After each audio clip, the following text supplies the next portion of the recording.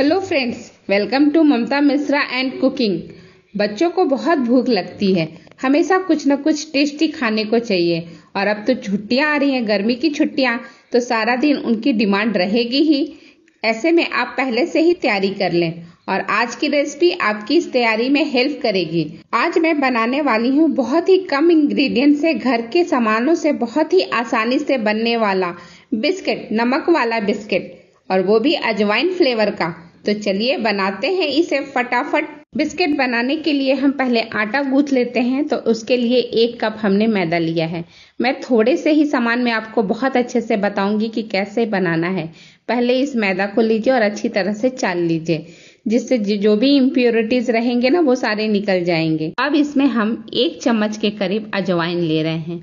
अजवाइन को जब भी किसी भी चीज़ों में डाले ना तो हाथ में थोड़ा रगड़ के डालिए। इससे इसकी खुशबू जाग जाती है और पूरा फ्लेवर जो भी सामान बना रहे हैं, उसमें अच्छी तरह से फैल जाती है। और ये स्वाद के अनुसार नमक डाल दीजिएगा। नमक आप थोड़ा कम ही डालिएगा, क्योंकि बाद में जब ये तलने के बाद ना, बिस्किट में थोड़ा नमक ज़्यादा हो ही जाता है तो आप थोड़ा कम डालिएगा। और ये मैंने देसी घी मेल्ट करके लिया है। तो ये मैं तीन चम्मच लूँगी। आप देसी घी के जगह कुकिंग ऑयल भी ले सकते हैं, लेकिन देसी घी से बहुत ही अच्छा टेस्ट हो जाता है। तो मैं तो कहूँगी आप देसी घी ही लीजिए। इस तरह से इसको थोड़ा मिक्स कीजिएगा। सारी चीज़ें अच्छी तरह से एक में मिक्स हो जाए और इसको ही मोयन देना कहते हैं। तो अच्छी तरह से आप मोयन दे दीजिए, जैसे ये हाथ में लड्डू बन रहा है ना, एक से दो मिनट लगेगा। जब ये लड्डू इस तरह से बनने लगे मतलब मोयन देना हो गया है।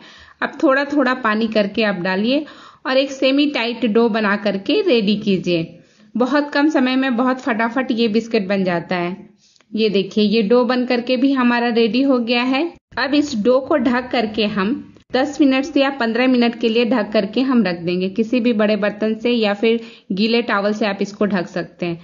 15 मिनट हो गए हैं। हाथ में थोड़ा सा ऑयल लगा लीजिए। डो हमारा अच्छा सेट हो गया होगा। अब उसको हम लोग चेक करते हैं। डो अच्छा सेट है। अब इसमें से मैं हाफ़ पोर्शन ले ले रही हूँ डो में से और इसको अच्छी तरह से गोल कर लेंगे। और साथ ही हम थोड़ा सा ऑयल जो है, वो चकले पे लगा देंगे और उसमें से ही थोड़ा सा ऑयल लेकर के बिल्कुल जरा सा आप बेलन पे भी लगा दीजिए। अगर आप घी से कर रहे हैं तो घी आप दोनों चीज़ों पे लगा लीजिए। और इसके बाद इसको अच्छी तरह से गोल कर लीजिए, जो पोर्शन हमने निकाला था। अब हम इसको बेल लेंगे और बेल करके एक बड़ी रोटी होती है ना, जितना बड़ा हमारा चकला है, उतना बड़ा हम बेल करके एक बड़ी रोटी बना लेंगे। अगर आपको हमारा चैनल हमारी रेसिपी पसंद आती है तो लाइक शेयर कीजिए। चैनल पे नए हैं तो सब्सक्राइब भी कीजिए।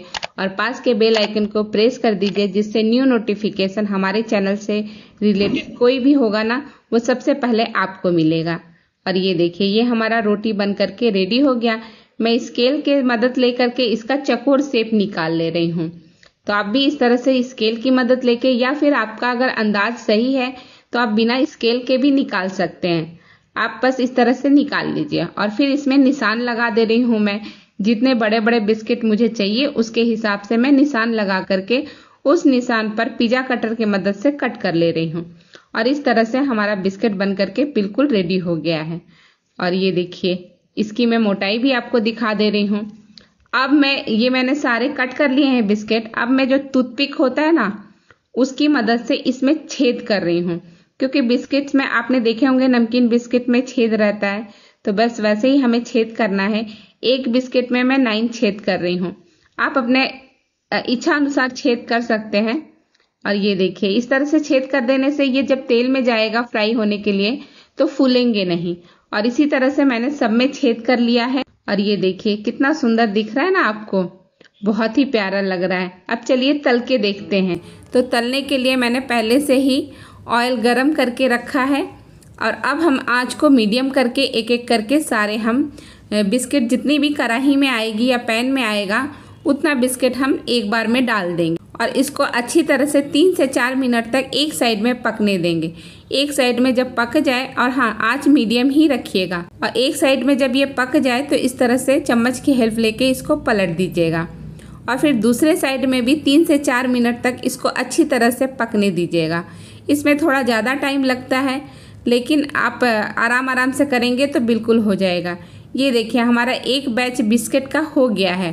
अब हम उसको निकाल ले रहे हैं। तो निकालने का वही प्रोसेस है कि आप एक जाली पे इसको निकाल लीजिएगा, जिससे सारे जो ऑयल्स हैं ना एक्स्ट्रा ऑयल वो टपक करके गिर जाएँगे। और ऐसे ही आप सारे बैचेस बना लीजिए।